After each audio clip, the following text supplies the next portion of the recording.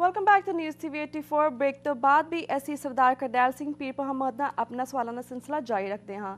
ਹਾਂਜੀ ਵੀਰ ਜੀ, ਜਿਸ ਤਰ੍ਹਾਂ ਤੁਸੀਂ ਬ੍ਰੇਕ ਤੋਂ ਪਹਿਲਾਂ ਕਿਹਾ ਕਿ ਤੁਸੀਂ ਇਸ ਕੇਸ ਨੂੰ ਹਾਈ ਕੋਰਟ ਦੇ ਵਿੱਚ ਲੈ ਕੇ ਜਾਓਗੇ, ਪਰ ਤੁਹਾਨੂੰ ਲੱਗਦਾ ਕਿ 29 ਸਾਲਾਂ ਤੋਂ ਸਾਨੂੰ ਸੈਸ਼ਨ ਕੋਰਟ ਤੇ ਖੱਜਲ ਖਵਾਰ ਹੁੰਦਿਆਂ ਹੋਗੇ ਕਦੀ ਅੱਜ ਤੱਕ ਸਾਨੂੰ ਇਨਸਾਫ ਨਹੀਂ ਮਿਲਿਆ ਭਾਰਤ ਦੇ ਵਿੱਚ। ਤੁਹਾਨੂੰ ਕੀ ਲੱਗਦਾ ਕਿ ਅਸੀਂ ਅਗਰ ਇਹ ਸਰਕਾਰ, ਇਸ ਕੇਸ ਨੂੰ ਹਾਈ ਕੋਰਟ ਤੱਕ ਲੈ ਕੇ ਜਾਣੀ ਅਗਰ ਸਰਕਾਰਾਂ ਹੀ ਮਿਲੀਆਂ ਹੋਈਆਂ ਨੇ, ਤਾਂ ਸਾਨੂੰ ਇਨਸਾਫ ਕਦੋਂ ਮਿਲੇਗਾ, ਕਿੱਥੇ ਮਿਲੇਗਾ? ਤੁਹਾਨੂੰ ਲੱਗਦਾ ਕਿ ਹਾਈ ਕੋਰਟ ਸਾਨੂੰ ਇਨਸਾਫ ਮਿਲੇਗਾ? ਇਹ ਹਾਈ ਕੋਰਟ ਤੋਂ ਅੱਗੇ ਸੁਪਰੀਮ ਕੋਰਟ ਹੈ ਇਹਨਾਂ ਦਾ ਇੱਕ ਸਿਸਟਮ ਹੈ ਉਹਦੇ ਨੂੰ ਸਾਨੂੰ ਅਡਾਪਟ ਕਰਨਾ ਹੀ ਪਏਗਾ ਔਰ ਅਸੀਂ ਦੁਨੀਆ ਨੂੰ ਇਹ ਦੱਸਣ ਵਾਸਤੇ ਕਿਉਂਕਿ ਪਹਿਲਾਂ ਤੇ ਦੰਗੇ ਕਹਿੰਦੇ ਰਹੇ। ਇਹਨਾਂ ਨੇ ਇਸ ਕੇਸ ਦੇ ਵਿੱਚ ਕੀ ਕੀਤਾ? ਸਭ ਤੋਂ ਵੱਡੀ ਜਿਹੜੀ ਬੇਈਮਾਨੀ ਕੀਤੀ ਕਿ ਇੱਕ ਵੱਡਾ ਕਤਲੇਆਮ ਕਰਕੇ ਸਿੱਖਾਂ ਦੀ ਨਸਲਕੁਸ਼ੀ ਕਰਨ ਦੀ ਕੋਸ਼ਿਸ਼ ਕੀਤੀ ਗਈ ਔਰ 18 ਰਾਜਾਂ ਦੇ ਵਿੱਚ 110 ਵੱਡੇ ਸ਼ਹਿਰਾਂ ਦੇ ਵਿੱਚ ਇਹ ਘਟਨਾਕ੍ਰਮ ਵਾਪਰਿਆ। ਲੇਕਿਨ ਇਹਨਾਂ ਨੇ ਨਾਮ ਦਿੱਲੀ ਦੰਗੇ ਦਿੱਤੇ ਔਰ ਉਹਦੇ ਵਿੱਚ ਇਹਨਾਂ ਨੇ 2757 ਜਿਹੜੇ ਐਫੀਡੇਵਿਟ ਦੇ ਆਧਾਰ ਦੇ ਉੱਤੇ ਇੱਕ ਪੂਰੀ ਜਾਰੀ ਕੀਤੀ ਕਿ ਇੰਨੇ ਲੋਕ ਹੀ ਭਾਰਤ ਦੇ ਵਿੱਚ ਮਾਰੇ ਗਏ ਤੇ ਉਹਨਾਂ ਨੂੰ ਨਾਮ ਦਿੱਲੀ ਦੰਗਿਆਂ ਦਾ ਦਿੱਤਾ। ਅਸੀਂ ਜਿਹੜੀ ਸਾਡੀ ਕੋਸ਼ਿਸ਼ ਇਹ ਪਹਿਲਾਂ ਰਹੀ ਕਿ ਅਸੀਂ ਇਹਨੂੰ ਪ੍ਰੂਵ ਕਰਾਉਣਾ ਕਿ ਸਿੱਖ ਨਸਲ ਕੁਛੀ ਸੀ ਇਹ ਦੰਗੇ ਨਹੀਂ ਸੀ ਦੰਗੇ ਦੋ ਫਿਰਕਿਆਂ ਨਾਲ ਆਪਸੀ ਲੜਾਈ ਦੇ ਵਿੱਚ ਉਪਜਦੇ ਨੇ ਔਰ। ਕਿਸੇ ਦੇ ਨਾਲ ਸਾਡੀ ਲੜਾਈ ਨਹੀਂ ਹੋਈ ਸਾਨੂੰ ਤਾਂ ਮਾਰਨ ਵਾਸਤੇ ਕੋਸ਼ਿਸ਼ ਕੀਤੀ ਗਈ ਔਰ ਇੱਕ ਯੋਜਨਾਬੱਧ ਢੰਗ ਦੇ ਨਾਲ ਇਹ ਕਿਲਿੰਗ ਹੋਈ ਜੀ। ਔਰ ਅਸੀਂ ਸਿੱਖ ਨਸਲ ਕੁਸ਼ੀ ਦਾ ਜਿਹੜਾ ਇੱਕ ਮਾਹੌਲ ਸੀ ਉਹ ਦੁਨੀਆ ਨੂੰ ਦੱਸਿਆ ਕਿ ਨਵੰਬਰ ਦੇ ਪਹਿਲੇ ਹਫ਼ਤੇ ਦਿੱਲੀ ਕਾਨਪੁਰ ਬਕਾਰੋ ਸਮੇਤ ਦੇਸ਼ ਦੇ ਵੱਡੇ ਸ਼ਹਿਰਾਂ ਦੇ ਵਿੱਚ ਰਾਜਾਂ ਦੇ ਵਿੱਚ ਜਿਹੜਾ ਘਟਨਾਕ੍ਰਮ ਵਾਪਰਿਆ ਉਸ ਵੇਲੇ ਜੁਡੀਸ਼ਰੀ ਸੌਂ ਗਈ। ਮੀਡੀਆ ਜਿਹੜਾ ਉਹਨੇ ਆਪਣੀ ਜ਼ੁਬਾਨ ਬੰਦ ਕਰ ਲਈ ਔਰ ਜਿਹੜੀ ਪੁਲਿਸ ਸੀ ਉਹ ਅਪਰਾਧੀਆਂ ਦੇ ਨਾਲ ਮਿਲ ਗਈ। ਔਰ ਜਿਹੜਾ ਆਰਮੀ ਸੀ ਉਹਨਾਂ ਨੂੰ ਬੈਰਕਾਂ ਦੇ ਵਿੱਚੋਂ ਬਾਹਰ ਨਹੀਂ ਜਾਣ ਦਿੱਤਾ ਗਿਆ ਕਿ ਤੁਸੀਂ ਇਸ ਦੰਗਾ ਜੋ ਇਹ ਘਟਨਾਕ੍ਰਮ ਵਾਪਰਿਆ ਇਸ ਨੂੰ ਰੋਕੋ। ਸੋ ਇਸ ਤਰ੍ਹਾਂ ਦੇ ਹਾਲਾਤਾਂ ਦੇ ਵਿੱਚ ਇਹ ਸਾਰੀ ਘਟਨਾਕ੍ਰਮ ਦੁਨੀਆ ਨੂੰ ਦੱਸਣ ਵਾਸਤੇ ਲਗਾਤਾਰ ਅਸੀਂ ਜਦੋਜਹਿਦ ਕਰ ਰਹੇ ਹਾਂ। ਸਾਨੂੰ ਵੀ ਇਸ ਗੱਲ ਦਾ ਪਤਾ ਹੈ ਕਿ ਇਹਨਾਂ ਲੋਕਾਂ ਨੇ ਸਾਨੂੰ ਇਨਸਾਫ ਨਹੀਂ ਦੇਣਾ ਕਿਉਂਕਿ ਜਦੋਂ ਇਹ ਜੱਜ ਨੇ ਉਹ ਨਰਵਸ ਹੋਏ ਬੈਠੇ ਨੇ ਔਰ ਉਹਨਾਂ ਦੀਆਂ ਅੱਖਾਂ ਦੇ ਸਾਹਮਣੇ ਤੁਸੀਂ ਦੇਖੋ ਇੱਕ ਘਟਨਾ ਵਾਪਰੀ ਸੀ ਤਰਨਤਾਰਨ ਦੇ ਵਿੱਚ ਇੱਕ ਲੜਕੀ ਦੇ ਨਾਲ ਵਧੀਕੀ ਕੀਤੀ ਸੀ ਪੁਲਿਸ ਵਾਲਿਆਂ ਨੇ ਅੱਜ। ਤੋਂ ਕੋਈ 4 ਹਫ਼ਤੇ ਪਹਿਲਾਂ ਤਾਂ ਉਸ ਦੇ ਵਿੱਚ ਸੁਪਰੀਮ ਕੋਰਟ ਨੇ ਸੂਮੋਟੋ ਲਿਆ ਔਰ ਉਸ ਨੂੰ ਜਿੰਨੇ ਪੁਲਿਸ ਕਰਮਚਾਰੀ ਸੀ ਉਹਨਾਂ ਨੂੰ ਸਜ਼ਾਵਾਂ ਦਿੱਤੀਆਂ ਔਰ ਉਹਨਾਂ ਨੂੰ ਬਰਖਾਸਤ ਕਰ ਦਿੱਤਾ ਗਿਆ ਨੌਕਰੀ ਤੋਂ ਪਰ। ਇਸ ਘਟਨਾਕ੍ਰਮ ਦੇ ਵਿੱਚ ਜਿਹੜਾ ਸੁਪਰੀਮ ਕੋਰਟ ਦੇ ਜੱਜਾਂ ਦੇ ਘਰਾਂ ਦੇ ਬੂਹੇ ਅੱਗੇ ਹੋਇਆ ਔਰ ਲਾਸ਼ਾਂ ਦੇ ਉੱਪਰੋਂ ਲੰਘ ਕੇ ਅਦਾਲਤਾਂ ਦੇ ਵਿੱਚ ਜਾਂਦੇ ਰਹੇ ਉਦੋਂ ਅਦਾਲਤਾਂ ਹੀ ਬੰਦ ਕਰ ਦਿੱਤੀਆਂ ਗਈਆਂ ਤੇ ਇਹ ਉਹੋ ਹੀ ਜੱਜ ਨੇ ਅੱਜ ਚਾਹੇ ਉਹ ਸਰੀਰਕ ਰੂਪ ਦੇ ਵਿੱਚ ਬਦਲ ਗਏ ਨੇ ਤੋਂ ਮੈਂ ਵੀ ਇਸ ਕਰਕੇ ਜਿਹੜਾ ਜੂਤਾ ਛਾਲਿਆ ਸੀ ਉਹ ਮੈਂ ਕਿਸੇ ਵਿਅਕਤੀ ਕਿਸ ਨੂੰ ਮਾਰਨ ਵਾਸਤੇ ਨਹੀਂ ਮੈਂ ਇਸ ਸਿਸਟਮ ਦੇ ਉੱਪਰ ਜੁੱਤਾ ਮਾਰਿਆ। ਤਾਂ ਕਿ ਇਹਨਾਂ ਨੂੰ ਪਤਾ ਲੱਗੇ ਇਹ ਸੋਚਣ ਕਿ ਅਸੀਂ ਇੰਨਾ ਜਿਹੜਾ ਇਹ ਸਿੱਖ ਕੌਮ ਦੇ ਨਾਲ ਅਨਿਆਂ ਜ਼ੁਲਮ ਕਿਉਂ ਕਰ ਰਹੇ ਹਾਂ? ਜੀ। ਤੋ ਇਸ ਤਰ੍ਹਾਂ ਦੇ ਘਟਨਾਕ੍ਰਮ ਦੇ ਵਿੱਚ ਲਗਾਤਾਰ ਅਸੀਂ ਦਿੱਲੀ ਜਾ ਕੇ ਕਿਹੜਾ ਸੀ ਚੁੱਪ ਬੈਠ ਜਾਣਾ ਹਾਈ ਕੋਰਟ ਇਸ ਤੋਂ ਅੱਗੇ ਚੱਲਦਾ ਰਹਿਣਾ ਦੌਰ ਔਰ। ਹਿਸਟਰੀ ਦੇ ਵਿੱਚ ਇਹ ਲੋਕਾਂ ਨੂੰ ਬੇਨਕਾਬ ਕਰਕੇ ਅਸੀਂ ਦਮ ਲਵਾਂਗੇ। ਜੀ।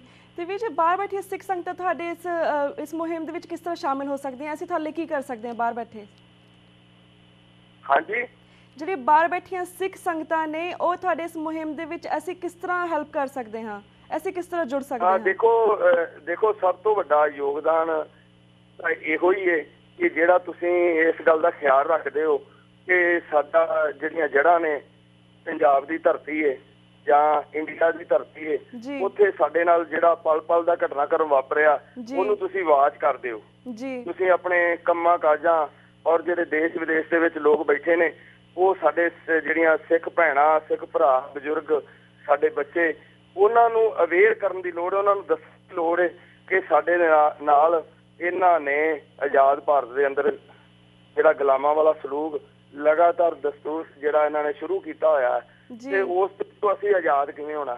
ਜੀ। ਔਰ ਉਸ ਦੇ ਵਿੱਚ ਇੱਕੋ ਇੱਕ ਜਿਹੜਾ ਮੇਨ ਫਾਰਮੂਲਾ ਇਹੋ ਹੈ ਏਕਤਾ ਛੋਟਿਆਂ ਨੂੰ ਪਿਆਰ ਵੱਡਿਆਂ ਦਾ ਸਤਿਕਾਰ ਗੁਰੂ ਗ੍ਰੰਥ ਸਾਹਿਬ ਦੀ ਹਜ਼ੂਰੀ ਦੇ ਵਿੱਚ ਜਾਣ ਸਮੇਂ ਅਸੀਂ ਇੱਕ ਦੂਜੇ ਦੀਆਂ ਦਸਤਾਰਾਂ ਨਹੀਂ ਉਛਾਲਣੀਆਂ ਇੱਕ ਦੂਸਰੇ ਨੂੰ ਸਤਿਕਾਰ ਭਰੀ ਨਿਗਾਹ ਨਾਲ ਦੇਖਣਾ ਔਰ ਇੱਕ ਜਿਹੜਾ ਸਾਨੂੰ ਗੁਰਮਤਾ ਗੁਰੂ ਸਾਹਿਬ ਨੇ ਬਖਸ਼ਿਆ ਉਸ ਗੁਰਮਤੇ ਦੇ ਉੱਤੇ ਪਹਿਰਾ ਦੇਣਾ ਔਰ ਗੁਰਮਤ ਦੇ ਅਨੁਕੂਲ ਅਸੀਂ ਫੈਸਲੇ ਲੈਣੇ ਨੇ। ਔਰ ਜਿਹੜਾ ਸਾਡੇ ਨਾਲ ਘਟਨਾਕ੍ਰਮ ਵਾਪਰਿਆ ਉਹਨਾਂ ਪਰਿਵਾਰਾਂ ਨੂੰ ਉਹਨਾਂ ਦੇ ਨਾਲ ਜਿਨ੍ਹਾਂ ਦੇ ਨਾਲ ਬੀਤੀ ਹੈ ਉਹਨਾਂ ਨੂੰ ਅਡਾਪਟ ਕਰਨਾ ਹੈ ਉਹਨਾਂ ਦੀ ਸਹਾਇਤਾ ਕਰਨੀ ਹੈ ਔਰ ਇੱਕ ਜਿਵੇਂ ਇਹ ਘਟਨਾਕ੍ਰਮ ਮੇਰੇ ਨਾਲ ਵਾਪਰਿਆ ਤੇ ਮੈਨੂੰ ਅੱਜ ਹੌਸਲਾ ਮਿਲ ਰਿਹਾ ਕਿ ਅੱਜ ਦੇਸ਼ ਵਿਦੇਸ਼ ਤੋਂ ਦੁਨੀਆ ਫੋਨ ਕਰਕੇ ਮੈਨੂੰ ਉਹ ਇਸ ਗੱਲ ਦਾ ਹੌਸਲਾ ਦਿੰਦੇ ਨੇ ਕਿ ਅਸੀਂ ਸਾਰੇ ਤੁਹਾਡੇ ਨਾਲ ਆ ਤੇ ਇਹ ਹਰ ਸਿੱਖ ਵਾਸਤੇ ਭਾਈ ਮਨਦੀਪ ਸਿੰਘ ਨੇ ਜਿਨ੍ਹਾਂ ਨੇ ਗੁਰੂ ਗ੍ਰੰਥ ਸਾਹਿਬ ਦੀ ਬੇਅਦਬੀ ਨਾਲ ਸਹਾਰਦਿਆਂ ਹੋਇਆਂ ਉਸ ਭਈਏ ਨੂੰ ਥਾਣੇ ਦੇ ਵਿੱਚ ਜਾ ਕੇ ਛਲਣੀ ਛਲਣੀ ਕੀਤਾ ਤਾਂ ਉਸ ਦੀ ਉਹ ਇੱਕ ਸਿੱਖ ਦੀ ਭਾਵਨਾ ਸੀ ਇਸ ਤਰ੍ਹਾਂ ਦੀ ਇੱਕ ਮੇਰੀ ਭਾਵਨਾ ਮੇਰੇ ਮਨ ਦੇ ਵਿੱਚ ਉਪਜੀ ਔਰ ਉਹ ਮੈਂ ਜੋ ਘਟਨਾਕ੍ਰਮ ਕੀਤਾ ਉਹ ਕੋਈ ਵੀ ਸਿੱਖ ਕਰ ਸਕਦਾ ਸੀ। ਉਹ ਕੱਲਾ ਕਰਨੈਲ ਸਿੰਘ ਪੀਰ ਮੁਹੰਮਦ ਨਹੀਂ ਕਰ ਸਕਦਾ।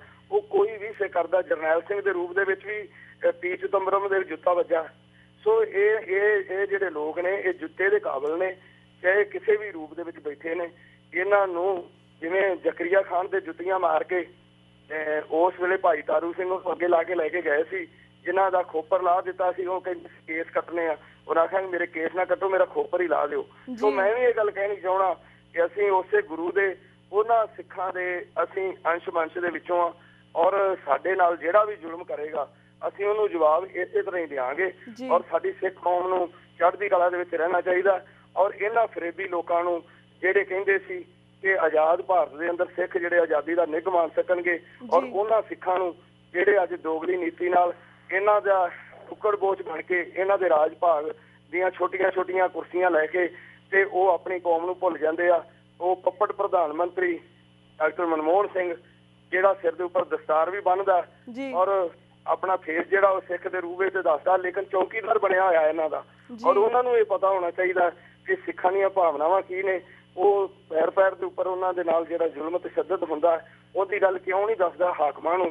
ਕਿਉਂ ਨਹੀਂ ਦੱਸਦਾ ਕਿ ਸਿੱਖ ਕੌਮ ਉਹ ਹੀ ਹੈ ਜਿਸ ਨੇ ਮੱਸੇ ਰੰਗੜ ਦਾ ਸਿਰ ਵੱਢਿਆ ਔਰ ਜਿਸ ਨੇ ਅਬਦਾਲੀ ਦੇ ਨਾਲ ਟੱਕਰ ਲਈ ਜਿਸ ਨੇ ਅੰਗਰੇਜ਼ਾਂ ਨੂੰ ਭਜਾਇਆ ਔਰ ਜਿਸ ਨੇ ਮੌਕੇ ਦੀ ਹਕੂਮਤ ਦੇ ਵਿੱਚ ਇੰਦਰਾ ਗਾਂਧੀ ਨੂੰ ਸਬਕ ਸਿਖਾਇਆ ਇਹ ਸਾਰੀਆਂ ਗੱਲਾਂ ਇਹ ਜਿਹੜੇ ਵਿੱਚ ਦਲਾਲ ਬੈਠੇ ਨੇ ਸਿੱਖਾਂ ਦੇ ਇਹਨਾਂ ਨੂੰ ਦੱਸਣੀਆਂ ਚਾਹੀਦੀਆਂ ਇਹ ਹੁਣ ਛੋਟੀਆਂ-ਛੋਟੀਆਂ ਆਪਣੀਆਂ ਖਾਸ਼ਾਂ ਪੂਰੀਆਂ ਕਰਨ ਵਾਸਤੇ ਉੱਥੇ ਬੈਠੇ ਹੋਏ ਨੇ।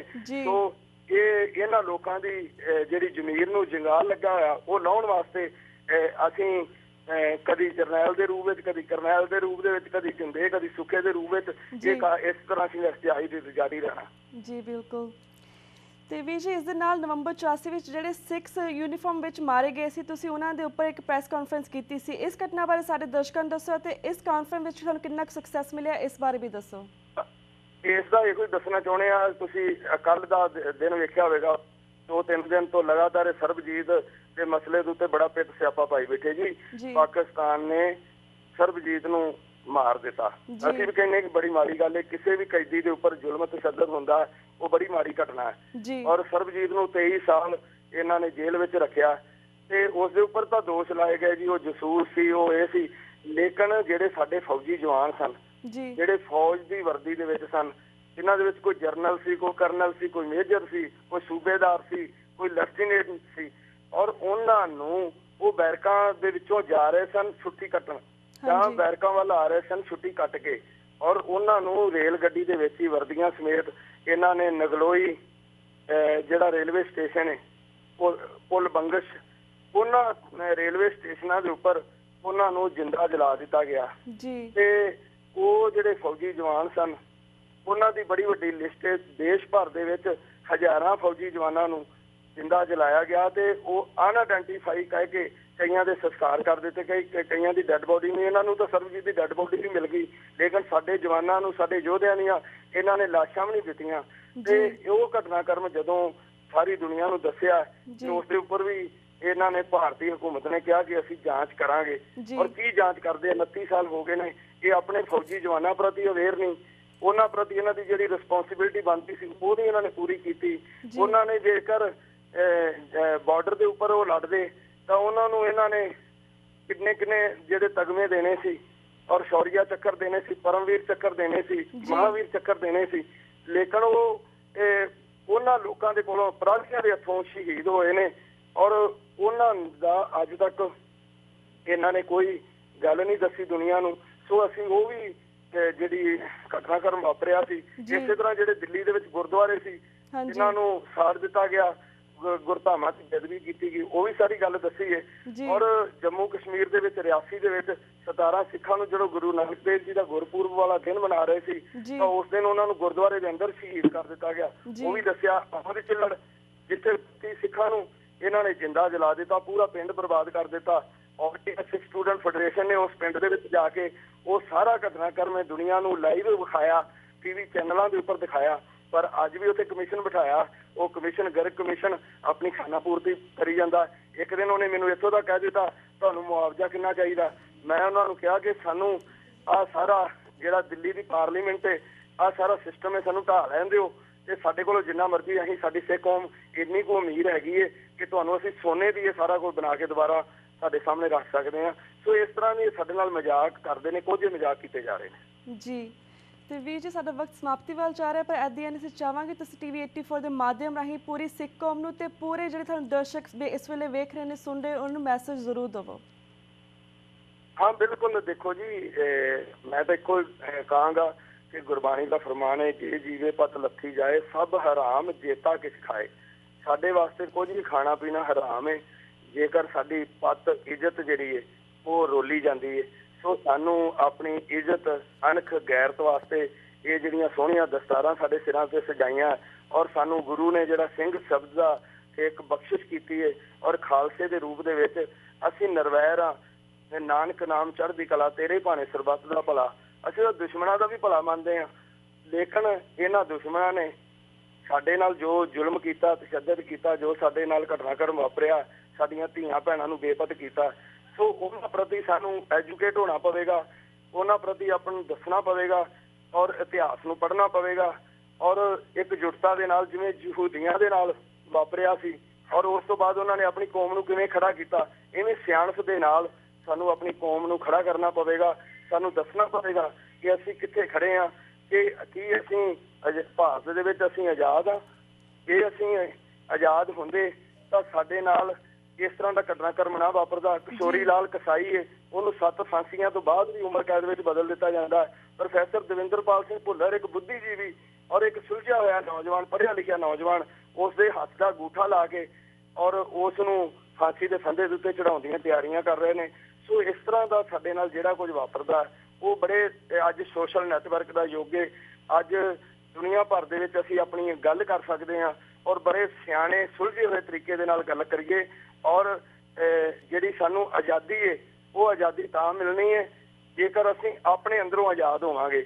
ਜੇਕਰ ਅਸੀਂ ਇਸ ਗੱਲ ਦੀ ਖਾਸ਼ ਕਰਾਂਗੇ ਕਿ ਅਸੀਂ ਕੀ ਆਜ਼ਾਦ ਆ ਇੱਕ ਆਮ ਆਦਮੀ ਜਿਸ ਤਰ੍ਹਾਂ ਸੋਚਦਾ ਹੈ, ਉਸ ਤਰ੍ਹਾਂ ਸਾਨੂੰ ਸੋਚਣਾ ਪਵੇਗਾ ਕਿ ਸਾਡੇ ਨਾਲ ਜੋ ਦੁਨੀਆ ਦੇ ਵਿੱਚ ਵਾਪਰ ਰਿਹਾ ਕੌਮਾਂਤਰੀ ਪੱਧਰ ਦੇ ਉੱਪਰ ਜਿਹੜੇ ਦੇਸ਼ ਬਣੇ ਨੇ ਔਰ ਜਿੱਥੇ ਇਹ ਸਾਰੀਆਂ ਘਟਨਾਕ੍ਰਮ ਵਾਪਰਦੀਆਂ ਰਹੀਆਂ ਜ਼ੁਲਮ ਹੁੰਦਾ ਰਿਹਾ ਔਰ ਉਹ ਕਿਵੇਂ ਉਸ ਦੇ ਵਿੱਚੋਂ ਬਾਹਰ ਨਿਕਲੇ ਕਿਵੇਂ ਉਹਨਾਂ ਨੇ ਆਜ਼ਾਦੀ ਦਾ ਨਿੱਘ ਮਾਣਿਆ ਉਸ ਤਰ੍ਹਾਂ ਦਾ ਸਾਨੂੰ ਸਵਰੂਪ ਸਾਡੀ ਸਿੱਖ ਕੌਮ ਨੂੰ ਬਣਾਉਣਾ ਪਵੇਗਾ।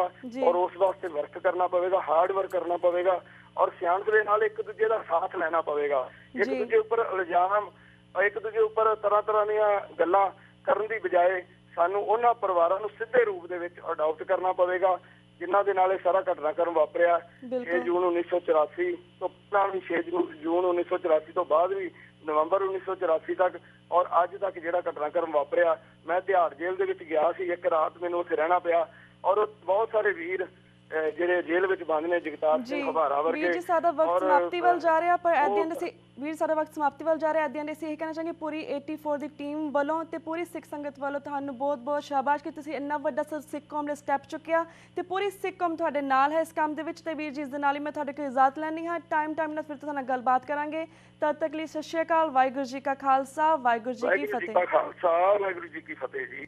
ਤੇ ਵੀਅਰਸ ਇਸ ਦਿਨ ਮੈਂ ਤੁਹਾਡੇ ਕੋਲ ਇਜਾਜ਼ਤ ਲੈਣੀ ਆ ਕੱਲ ਨੂੰ ਮਿਲਾਂਗੇ ਸੇਮ ਟਾਈਮ ਸੇਮ ਸ਼ੋ ਦੇ ਉੱਪਰ। ਤਦ ਤੱਕ ਲਈ ਸਤਿ ਸ਼੍ਰੀ ਅਕਾਲ, ਵਾਹਿਗੁਰੂ ਜੀ ਕਾ ਖਾਲਸਾ, ਵਾਹਿਗੁਰੂ ਜੀ ਕੀ ਫਤਿਹ।